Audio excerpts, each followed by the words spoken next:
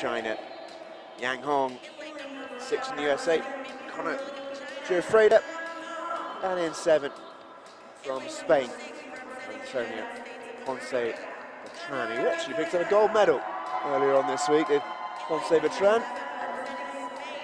World record swim for him in the 100 breaststroke earlier this week. Range of ages in this one as well. Yang Hong, 17 year old. Just thinking that Luis Antonio Silva, over twice the age of Yang Hong. Sometimes do see this though in the 50 freestyle. Of course, saw the main man, 60-year-old Spaniard yesterday. Yeah, one length on the pool for this 50 metres butterfly. China well represented again, Yang Hong.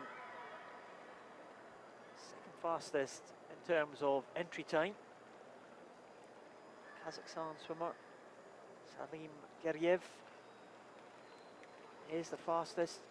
He goes in lane number four. We just see him there,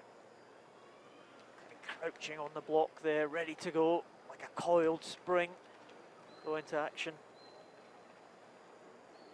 Mexican crowds just waiting for the officials. Good to see a fair few youngsters in that crowd as well. Looks like it might be a school visit. That's good. Good to see the support here. And they've had some Mexican success to cheer already this morning. Heat number one of the men's 50 butterfly S6.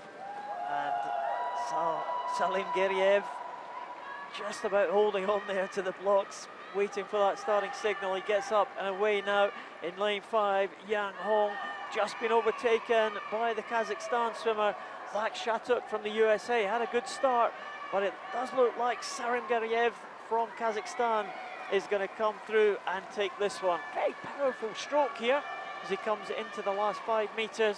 It is going to be Salimgereyev will take this heat 32.47, 0.3 of a second outside his entry time, but that'll be good enough to qualify him for the final and certainly be in a medal challenging position when they get to that final.